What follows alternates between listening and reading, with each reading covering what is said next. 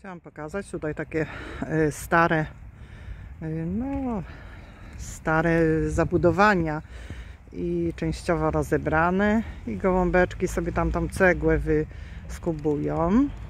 E, Ja kupuję takie, taką zmieloną cegłę dla tych moich no i tych gołąbeczków stałych i tych gołąbków, które które tak przychodzą na chwilę.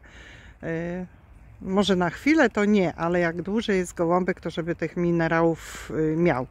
Widać, jak one są im potrzebne. O, tutaj jest dobry przykład, właśnie jak siedzą na tej cegle.